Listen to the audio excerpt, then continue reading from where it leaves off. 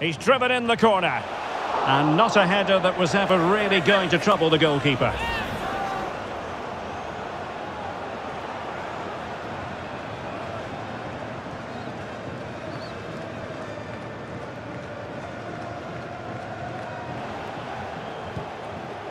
Foden.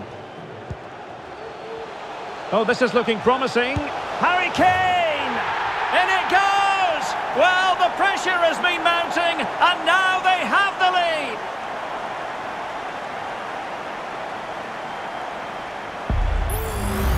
Well, here we can see it again. Look at the way he glides past the defender to create space for himself. But he's still got so much work to do. Just look at the strength he shows to hold off the defender and still get his shot away. That's a really good finish. Well, they keep working away, looking for an opening.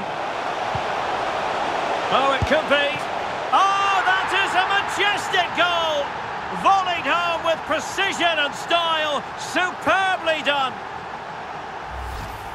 Well, here it is again. Just look at the quality of the cross. It's inch perfect. And then through on goal, he just goes for power and smashes it past the keeper. There's no stopping that. What a great finish.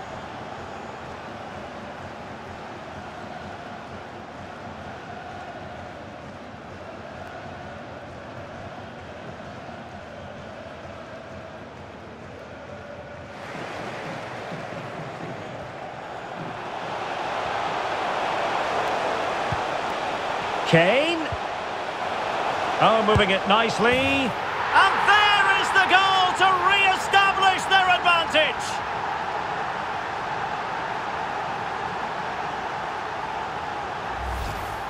Well, just look at this again. The speed of counter-attack is so impressive, but there's still plenty to do from here. He hits it so well, though. Lots of pace, lots of power, and the keeper just can't react in time. It's a great strike.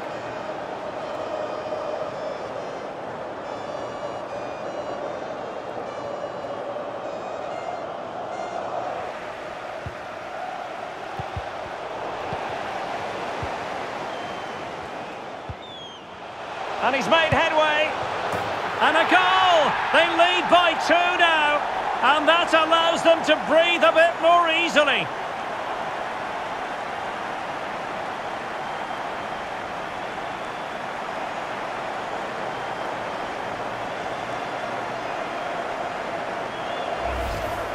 Well, here's the replay. Watch how he goes past his man with such ease, and it's just a change of pace. And his movement's so clever. Once he gets onto it, there's only one thought in his head. Smash it as hard as possible. What a good goal.